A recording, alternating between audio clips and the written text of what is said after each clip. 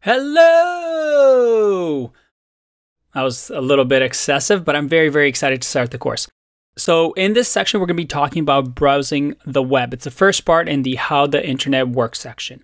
And some of you are thinking right now, whoa, whoa, whoa, Andrei, like, come on. I know how the internet works. Let's get to the heavy, heavy, you know, technical stuff. But this is something that actually took me quite a few years to learn. And I see a lot of people just skimming the surface of this stuff without fully understanding how everything works together. Without having those foundations, it's actually very, very difficult to think about performance, optimizing your site, and so on and so on. So, we're going to start off very, very basic and we're going to learn something that it took me many years to learn. And once I figured this out, everything clicked. So, just hang in there. Trust me, I promise you, you'll learn something new in this section. And we're going to be talking about browsing the web. We have over here a laptop and we have our web browser, let's say Google Chrome. And we typically like to say, go to Google. And we're going to visit Google. So we type in google.com. And well, what happens technically when we do that? When we enter google.com, we press enter on our keyboard. We ask a question Who's this google.com fellow? And that question gets asked all the way down to our ISP.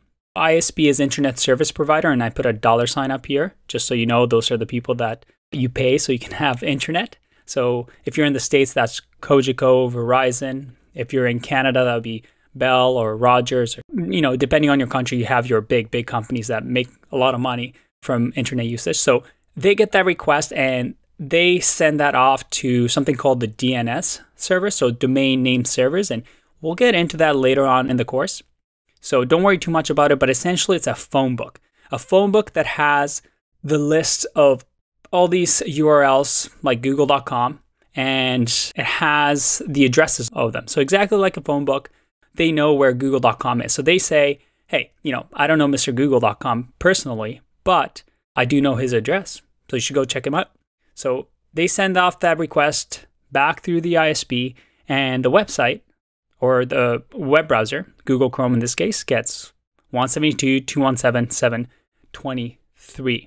All right, cool, but nothing's showing up yet. There's no there's no google.com. I can't do any searches yet.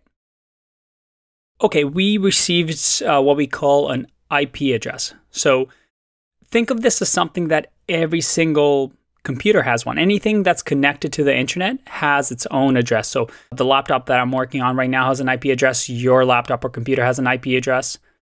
So this IP address allows the internet to work essentially. It knows our location, our address. So what we do now with google.com, we know this IP address, the browser sends off another request to the Google servers and it knows where the Google servers are because, well, because we have this address. So we go seek it out and you can think of servers as computers essentially. My laptop could be a server, your computer could be a server. Servers are essentially computers that are sometimes in basements or in huge server farms, and they have a piece of software running that, just like at a restaurant where a server brings you food, it knows how to send you files when you request for them. So we send this off and the Google server say, oh, yeah, yeah, no problem. Let me give you my HTML, CSS, and JavaScript. And we'll get into what those are later on in the course, but think of them as just text files. They're text files that Google is going to send to the browser so we can have Google working. So let me just uh, minimize this and show you what it's doing. So we're copying these files and Google server is saying, yeah, no problem. Thanks for asking for Google, here it is. And the web browser receives the HTML, CSS, and JavaScript. So if we go to the next section, boom, we have google.com and everything's working. Now, that sounded like a whole bunch of stuff that happened in between. And when we're on the internet, everything is quite fast. But yeah, underneath the hood, all of that is happening.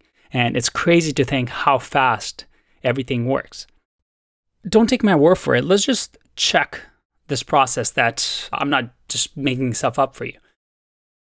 If what we learned was correct, technically, we can skip this process, right? I mean, if we know the address of Google, can we just, you know, go into this directly and just instead of putting in google.com, just put in this in our search bar and it automatically goes to the Google servers?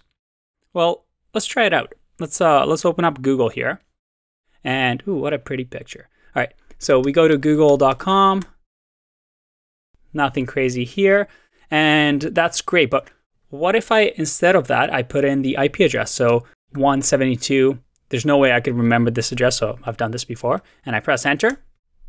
Look at that, google.com. So as you can see, I'm not lying.